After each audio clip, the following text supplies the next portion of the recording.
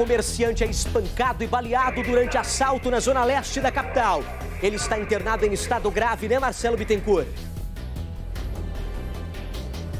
O absurdo, viu, do Camargo? A gente está vendo aqui no monitor, o Vanderlei Miranda montou, um absurdo, uma covardia, o que esses três criminosos fizeram com esse homem que estava trabalhando domingo ontem, Vila Matilde, zona leste da capital paulista. O homem estava ali sozinho quando os três criminosos entraram, subjugaram-o. Ele recebeu uma cadeirada, a vítima recebeu uma cadeirada, não contente.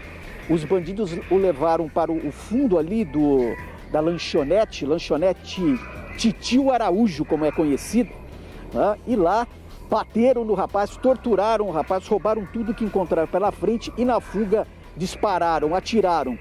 Esse disparo acabou acertando o braço do comerciante. Os bandidos covardes acabaram fugindo. O comerciante acabou aí pedindo socorro, foi levado para o Hospital Santa Marcelina, permanece internado em estado grave. Polícia Estado do Camargo de Posse, dessas imagens que a gente acompanha neste momento na tela do primeiro impacto, para tentar localizar esses facínoras, esses covardes que atiraram num chefe de família e fugindo, levando ali o quê? O dinheiro do caixa. Um pequena, uma pequena quantidade em dinheiro. Mesmo assim, tentaram matar o comerciante, Dudu.